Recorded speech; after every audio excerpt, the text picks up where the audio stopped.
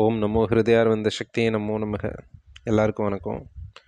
எல்லாருக்குமே வாழ்க்கையில் வந்து லைஃப்பில் அப்ஸ் அண்ட் டவுன்ஸ் இருக்கும். அதெல்லாம் தாண்டி நம்ம லைஃப் வந்து நச்சுன்னு போகணும் அப்படின்னா நச்சுன்னா ரொம்ப ஸ்மூத்தாக சூப்பராக என்ஜாயபிளாக போகணும் அப்படின்னா ஒரு நாலே நாலு வரி இருக்குது கம்பராமாயணத்தில். அதை நம்ம சொன்னோன்னா இந்த ஜென்மத்திலே நம்ம லைஃப் வந்து நச்சுன்னு போகும். இது வந்து கண்கண்ட உண்மை. எப்படி கம்பர் வந்து அவ்வளோ அற்புதமாக கம்பராமாயணத்தில் அந்த பாட்டை சொன்னார் அப்படின்றது மிகவும் ஆச்சரியப்பட வேண்டிய விஷயம். ஆனால் நாலு வரையில் மனுஷனுக்கு தேவையான விஷயத்த அவர் சொல்லியிருக்காரு அப்படின்றது தான் நிர் நிதர்சனமான உண்மை. இப்போ அந்த பாட்டுக்குள்ளே போகலாம் அதோட முதல் வரி நன்மையும் செல்வம் நாளும் நல்குமே. திண்மையும் பாவமும் சிதைந்து தேயுமே.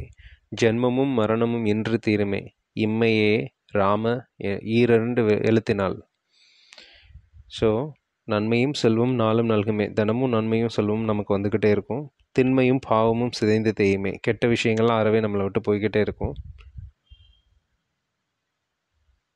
ஜென்மமும் மரணமும் இன்றி தீருமே. அடுத்து பிறக்க வேண்டிய தேவை இருக்காது. மரணமும் இல்லா பெருவாழ்வு வாழலாம். எப்படி அப்படின்னு கேட்டிங்கன்னா இம்மையே ராம வேறிரண்டு எழுத்தினால் இந்த ஜென்மத்திலே இம்மையேனா இந்த ஜென்மம்? இந்த ஜென்மத்திலே ராம வேறு இரண்டு எழுத்தினால் ராமான்ற வார்த்தையை நம்ம சொல்லும்போது இவ்வளோ விஷயங்களும் நமக்கு சாத்தியமாகும் அப்படின்னு கம்பர் சொல்கிறாரு வணக்கம்.